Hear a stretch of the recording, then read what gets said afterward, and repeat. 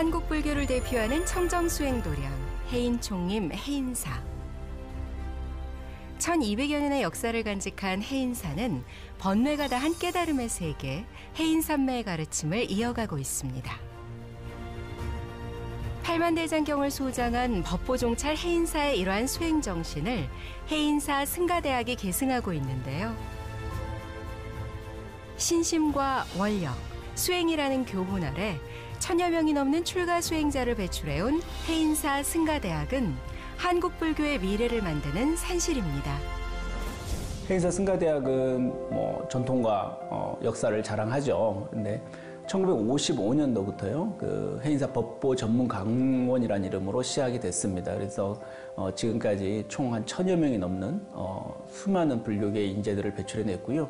우리 불교가 겪고 있는 어떤 사회적 역할 그리고 책무에 대해서 고민하고 있고 그래서 변화하는 어떤 현실에 어떻게 하면 불교가 어떤 역할을 할 수 있을지 또 불교가 어떻게 해야지 적응할 수 있을지 또 때에 따라서는 우리가 어떻게 선도할 수 있을지까지 고민하는 어, 그런 교육 내용과 어, 떤 그런 수행 프로그램을 갖고 어, 지금도 열심히 정진하고 있습니다.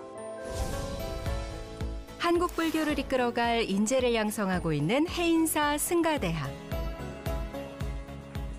학인 스님들은 계율과 선학, 화엄, 초기 불교 등을 비롯한 교학에서부터 영어, 일본어, 산스크리트어 등의 외국어와 설법, 토론까지 4년 동안 다양한 교육 프로그램을 통해 세속의 때를 벗고 수행자로서 위위를 갖춰갑니다.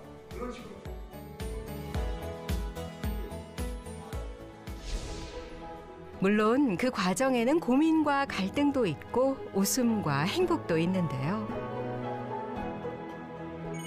해인사 승가대학 학인 스님들의 출가 이야기 지금 시작합니다.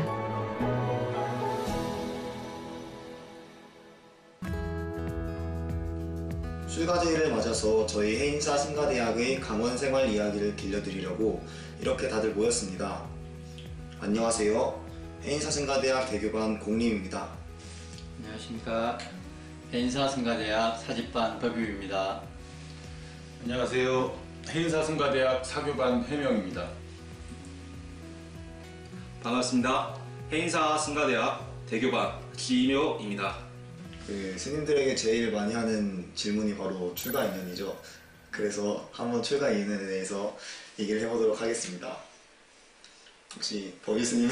아, 예.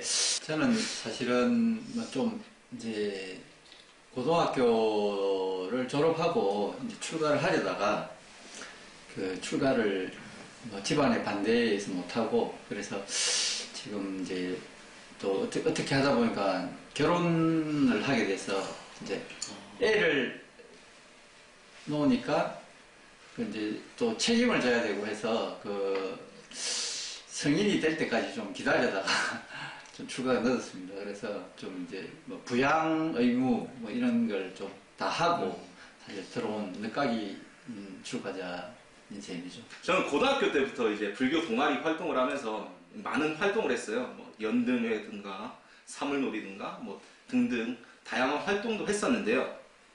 그렇게 하면서 오히려 불교에 대한 궁금함이 많이 생겼던 것 같아요. 그러다 보니까 자연스럽게 이제 대학교도 동국대학교로 가게 돼서 불교를 공부하게 되었고요.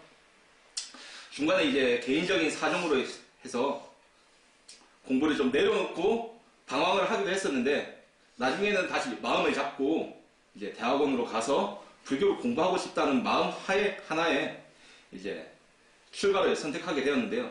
그렇기 때문에 저는 출가를 하게 되면 오히려 대학원이나 더 공부를 한 걸 생각을 했었어요. 그래서 이렇게 산에 들어와서 먼저 수행을 하고 이제 스님들과 이렇게 대방 생활하는 거 먼저 생각하기보다는 먼저 공부를 해야 되겠구나라는 생각이 더 깊었던 것 같아요.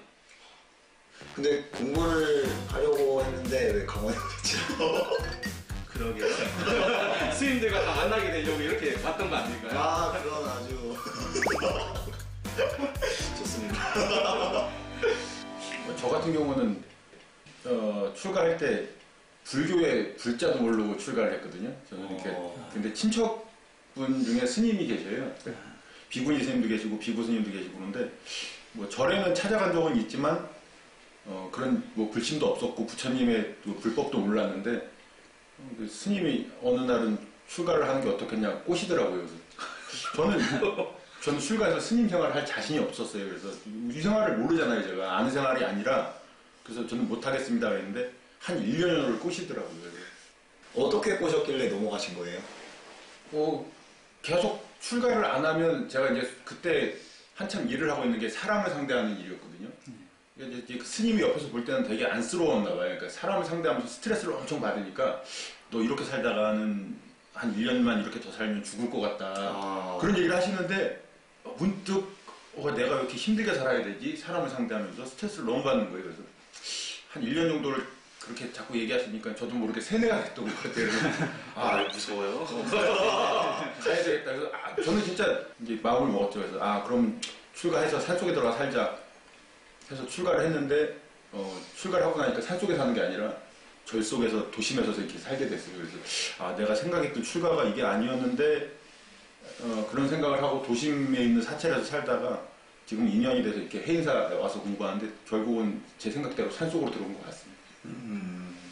아, 저도 해명스님처럼 불교에 대해서 그 어머니가 불교 신자이시긴 했는데 많이 알지는 못했어요. 가족들끼리 뭐 그 부처님 오신 날에 행사를 가기는 갔었는데 뭐 법당에 처음 들어갈 때는 항상 너무 무거운 분위기라서 무섭기도 했고 그러 예, 그랬었는데 어머니가 암에 걸리시면서 이제 돌아가실 수도 있다. 그- 그렇기 때문에 내가 죽기 전에 너희들한테 이거 하나는 꼭 알려주고 가고 싶다. 그게 바로 명상이었어요. 아, 어, 그렇게 해서 미왕사의 참사람의 향기라는 프로그램에 참석을 해서 7박 8일 동안 참선을 하게 됐죠.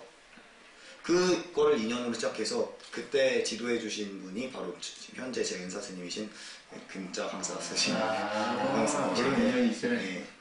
근데 그런 인연이 있던, 이- 있는- 있었는데도 처음에는 출가할 생각을 전혀 못했어요. 제가 출가한다는 생각은 한 번도 못 해봤어요. 머리 깎는 그날까지도 몰랐어요. 아, 다들 그렇죠. 그렇죠. 저도 제 주변에서 제가 머리 깎을 거라 아무도 생각을 못했어요. 그게 저는 공부 3년 동안 저를 공부한다고 생각하고 들어왔거든요. 아, 아, 그냥 공부만 한다고 생각을 하신 거지 머리 깎는 예. 거는 모르시고 그냥 오신 거예요. 그럼? 예, 그게 공부를 한다는 게 그 은사스님도 하고 그, 그 당시에 이제 참사람 향기를 통해서 제 마음을 이제 마음 근육을 키우고 마음 공부를 할 수 있는 곳이구나 이런 걸 확실히 깨닫고 제가 스스로도 풀리지 않던 의문 같은 것들을 아주 쉽게 한마디로 정리를 해주시더라고요. 저는 대학 생활을 하면서 이 사람한테는 이렇게 해야 되고 저 사람한테는 저렇게 해야 되고 뭐 내가 잘나야 되고 뭐 이런 식으로 뭔가를 항상 많이 가져야 된다고 생각을 했었어요. 근데 그렇게 가지고 있는 것 자체가 제 생각이 집착이더라고요. 그래서 많이 힘들었는데 은사 스님께서 그것들이 다 떨어진 자리가 나무에 있는 나뭇잎이 다 떨어진 자리가 본래 그 자리다라고 말씀을 제공품 얘기를 해주셨는데 아, 그거 듣고 나서 와 이렇게 설명해 주는 곳은 없다. 내가 이쪽으로 공부를 해야겠구나. 그 전부터 항상 제 마음이 답답했고 강박증도 있었고 그래서 힘들었는데 그 한마디에 모든 게 다 정리된 거예요. 그래서 출가하게 됐죠. 그리고 여자친구랑 헤어져서 출가한 것도 있고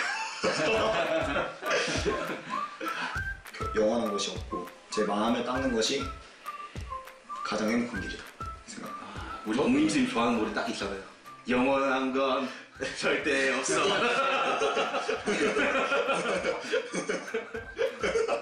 매일 운동하면 이 노래를 틉니다. 우리 공님스님 또 아, 제 운동 배표입니다.